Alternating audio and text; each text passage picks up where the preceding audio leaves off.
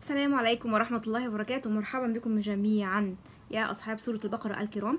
أه بشكر الناس اللي منضمة معانا المجموعة هنا على القناة أو على فيسبوك. بشكر الناس وبتمنى إن شاء الله إن إحنا كلنا نستفيد. معانا قصة جديدة النهاردة. أختنا هنا بتقول السلام عليكم ورحمة الله وبركاته. أنا ليا أربع أشهر. مداومة على سورة البقرة. أربع شهور بتقرأها. بنية الفرج. هي حطت نية فمن الأفضل إن إحنا نحطها بنية رضا الله بس هنشوف إيه اللي هيحصل معاها. أختنا بتقول آه المشكلة اللي عندها إن أخوها كان بالمرحلة الثالثة من السرطان. اللهم احفظنا. وعنده ورم بالمخ.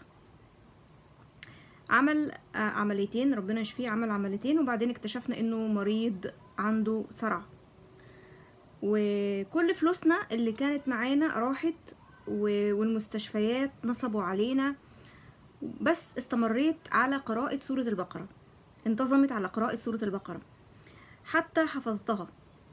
والحمد لله اليوم وأنا أقرأها وربي شاهد على كلامي كان في مطر كتير. وبعدين صرت أبكي وأدعي ومرت تقريبا ساعتين كان أخويا في المستشفى. ما صدقت لما أمي ماما كلمتني تقول تقول لي أخوكي ما فيهوش سرطان. بس هو محتاج يعني هو كان عنده مرض السرطان والحمد لله ربنا شفاه فمش خطأ في التشخيص هو كان بالفعل عنده.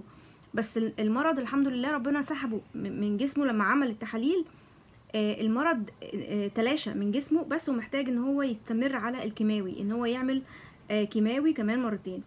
وبس ومراجعة كل 3 أشهر يروح يراجع مع الطبيب يتأكد إن السرطان ربنا يحفظنا ويحفظكم ما رجعلهوش تاني. بتقول بكيت من الفرحة لدرجة إني طلعت من السيارة أبكي وأضحك يعني عندها حالة هستيرية مش قادرة يعني إيه تفرج الله يعني. مش قادرة تستوعب فرج الله إن اللي حصل ده أخوها شوفي تماما الحمد لله.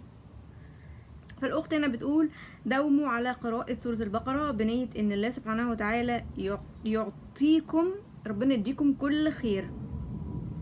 ولا تشيلوا هم المستقبل لأن الله أعلم بحاجتك. ربنا أعلم بحاجتنا كلنا. من منك نفسك. يعني ربنا عالم بحاجتك أكتر منك أنت شخصيا. ادعي الله سبحانه أدعي الله سبحانه وتعالى يفرحكم ويرزقكم في الدنيا قبل الآخرة. دي كانت الحاجة اللي معانا النهاردة.